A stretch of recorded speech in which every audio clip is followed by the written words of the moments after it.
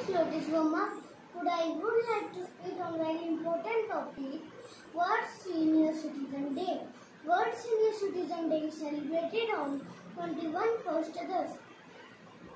Aging is a part of our lives. A baby born and slowly becomes an adult and an adult person.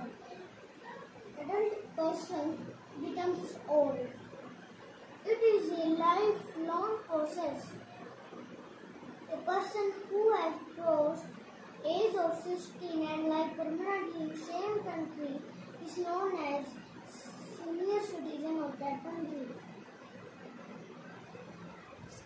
So it is our responsibility to take care of them. And they are roots of our life. And they are person who have nurtured us bloom like a flower thank you अच्छी लगी video तो subscribe करें।